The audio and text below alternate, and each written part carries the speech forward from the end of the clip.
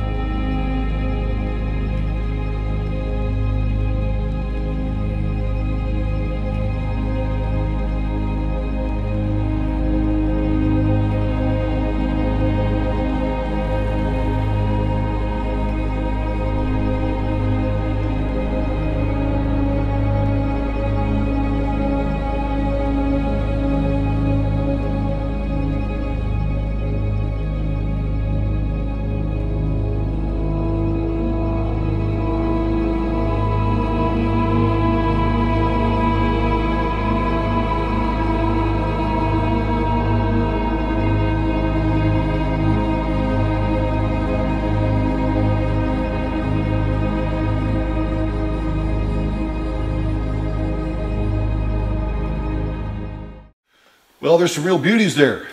How'd you like my bonus rock, that uh, labradorite? Uh, that was a uh, acquisition that we made not too long ago. But yeah, go ahead and leave, the, leave your, your opinion of what you think those first five rocks are in the description below. And if you're not sure, but you would like to know, hey, come back in a week or two and, take, and, and watch it again so you can see what the comments are. So uh, I appreciate it. Looking forward to seeing what other people's opinions are. And uh, hey, I've got a lot more of this type of material that I really don't know what it is.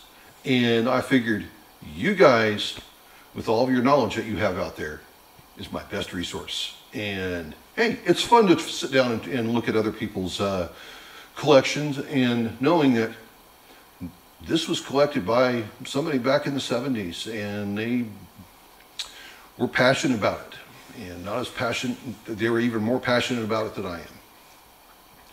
So there you go, a day of identifying rocks. So for now, just remember, everyone's life is an adventure. Then there's mine. Looking at rocks, having fun with them. This is the Adventures of Jaws Jr. Have a good one, everybody. See ya!